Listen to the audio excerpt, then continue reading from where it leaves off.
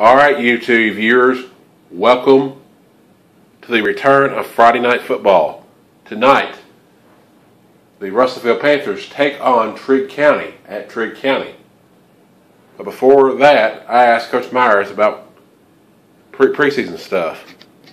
Russell Coach John Myers, uh, get, get, getting the new season started. You said, I've heard you say that this could be a good defense. What do you? What's what's your take on the defense this year? Well, I'm excited about our defense. Got a lot of team speed out there. Coach Gaddy's always going to put us in good position uh, to make plays, and uh, our kids have really responded. Uh, they uh, fly to the football and uh, they play as a team. They realize that each each individual on the defense has a particular job to do, and if if they don't do that particular job, it hurts the whole defense. So we're, we're excited about watching them and, and getting after them and watching them play.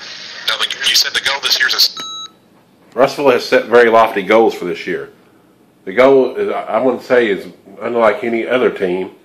The goal is to get to uh, LT Smith Stadium and win a state title. Here are Coach Myers' thoughts on that. state championship. Uh, you've been knocking on the door uh, the last three years with a bunch of seniors. What do you think that could do? Well, I mean, any, anytime you're going to make a, a big run in in the playoffs, you you need leadership, and uh, you know we're just excited about having 12 seniors on on the football field. For some schools, that's not very many, but for a Class A school at Russellville, um, it's quite, it's a good number for us. So I'd take 12 every year.